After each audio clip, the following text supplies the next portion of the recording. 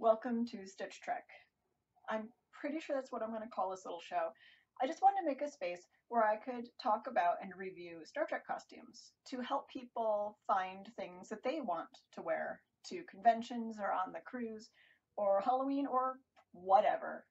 You're a Star Trek fan, it's your life. You put that costume on when you want. Now, I'm going to apologize in advance for the lack of men's uniforms. I am a woman and my Star Trek costume addiction pretty much is for me. I buy things that I want to wear. So it's got to fit me. What am I going to do with a big men's tunic? Sorry, guys. I mean, I actually, I do have some, and that's because a lot of things they don't make in women's size, so I buy them and I alter them to fit me. So I will do reviews of them before I chop them up. So let's start right now, at the beginning, with the original series and what I have on. This is an original series skant. It is adorable. This is a great, basic, functional costume. I love this thing.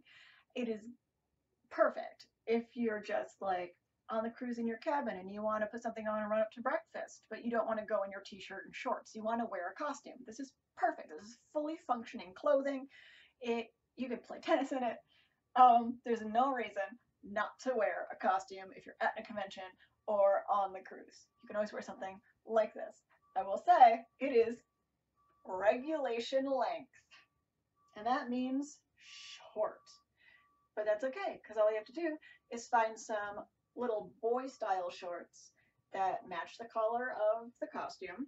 I have one in yellow, red, and blue, a pair of these little booty shorts just wear it underneath, and then it's no different than wearing like your little shorts in summer. No big deal. If you bend over and people look, what are they going to see? Shorts. This is a great costume. I will admit I did some alterations, and the fabric's not right, but let's get to that now. When you order this, and it comes in the mail, where's my red one? My red one's the one I haven't touched yet because it's not my red one, it's my cousin's. Um, I have some of my cousin's costumes here. There's a little construction work going on next door, so if you hear noises, that's them. It shows up like this.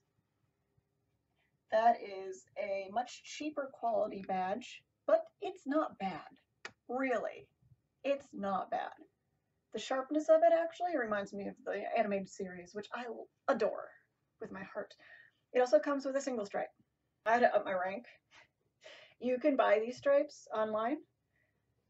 So you can up the rank of any costume you have in TOS. They also have the captain's version, which I have right here in the yellow. You just sew them on. That's not the best sewing job. I don't know why I did it that way. I'll do it again. So I bought a better quality badge, replaced that and um, I have freakishly long arms, so I lengthened my sleeves a little bit, and it's still short, but it's a little bit short in the show. So now I feel like I actually match the show. The fabric is not velour. Sorry, everybody. It ain't. It is a sort of, this red doesn't want to show it. Can you see? There we go. It's sort of a waffled cotton I would refrain from just throwing it in the wash if you want it to last a long time. Just because, you know, this isn't the most durable stuff in the world. Hand washing is easy enough. And I'm not sure who makes it because there isn't a maker's tag on it. Really, there isn't. I found that a lot of costumes I get in the mail don't have a manufacturer's tag on it. That's fine. Let me see. Let me see if I can figure it out. Yeah, it, it doesn't even say who the maker is on Amazon.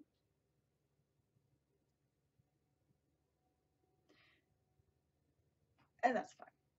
It is 40, nope, it's about 40 bucks.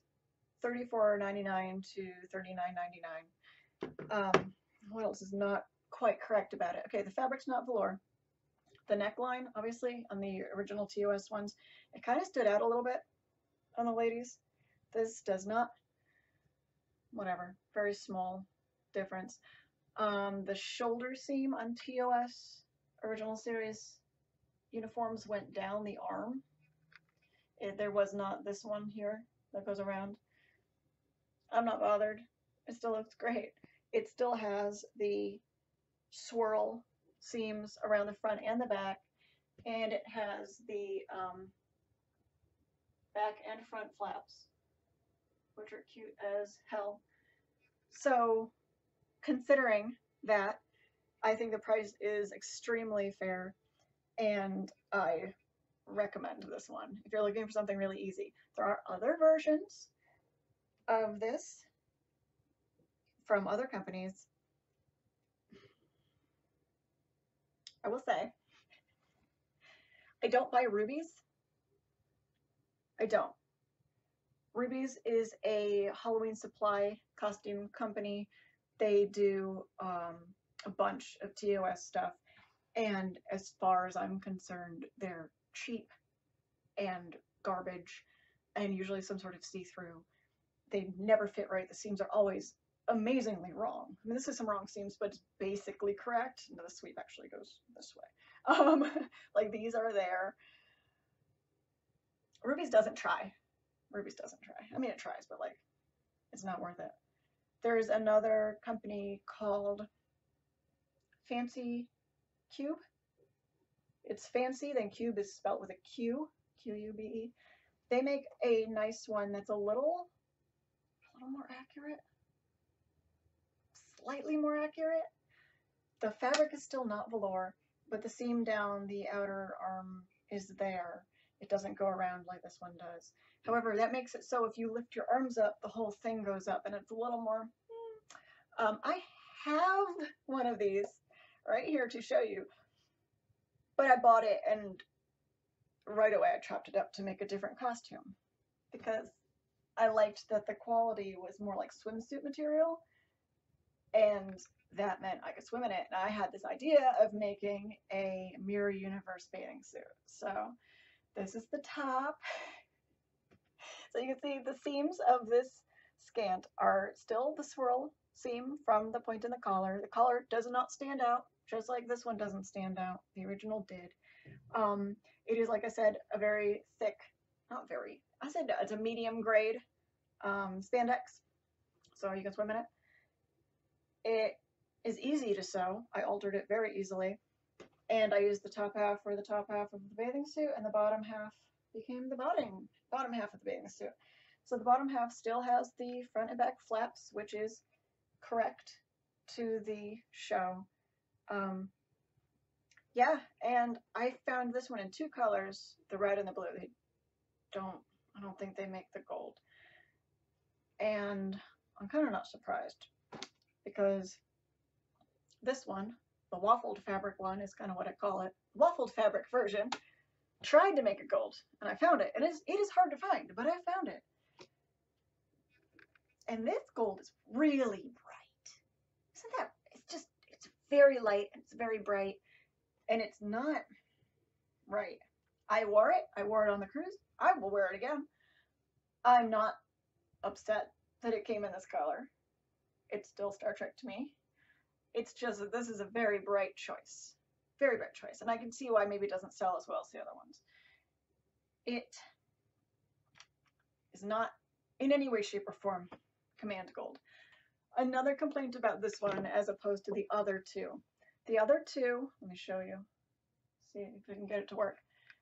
I'm having difficulties with my... See how you know there's a black seam under there. You know there's black fabric, but it doesn't show through. Because that's how you make a seam, right? There's one side of the seam and there's the other. They're touching, and if you bend it inside, if the fabric were thin, you could see it on the outside. That's sewing. Um, this one, something about this fabric, let me find a better. Where's the point? Here it is. You can see the black through, it doesn't really look good. I was wearing a flesh tone bra that is really light I'm very light when I'm not covered in freckles. I would have a job outside now.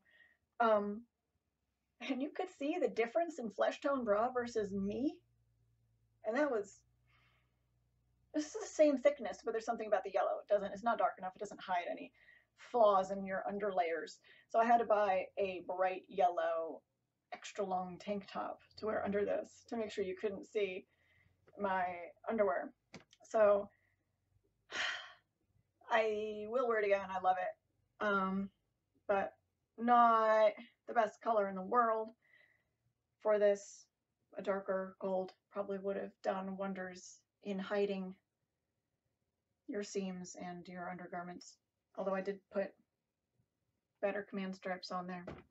So I might take them off if I make my own. I could probably find this fabric online for pretty cheap. So those are the TOS ones. To go with them, I found these boots. Aren't they like almost perfect? They are like almost perfect. They are great. These things are on Wish. Please, I will explain those dots. Don't get scared. Um, these are on Wish. I got them for $8, a dollar shipped, I think. And they have been on two cruises with me. They're going on this one.